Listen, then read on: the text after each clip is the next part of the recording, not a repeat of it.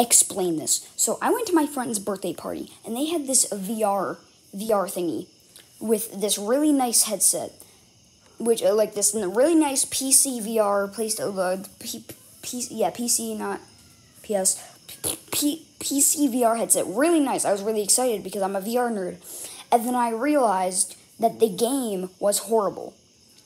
And if you wanted to play this for 24 hours, this game for 24 hours, you'd have to spend $480. But or you could use the Varjo XR3, aka the best VR headset that exists for let's just think for like about a thousand dollars for 24 hours. Makes sense, am I right?